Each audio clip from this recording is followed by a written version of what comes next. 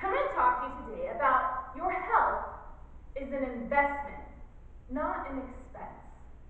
So oftentimes people think that, you know, it's an extra bill to have a trainer or to have a membership or to pay for classes or to pay for any type of service, right? But you're investing in you. And there is no better investment than that, right? Than in your body and in the longevity because if you don't invest in yourself now, it will become an expense later with medical bills that will rack up.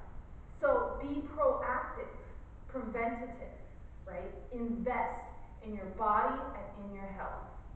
All right, everybody, have a great day. Thank you.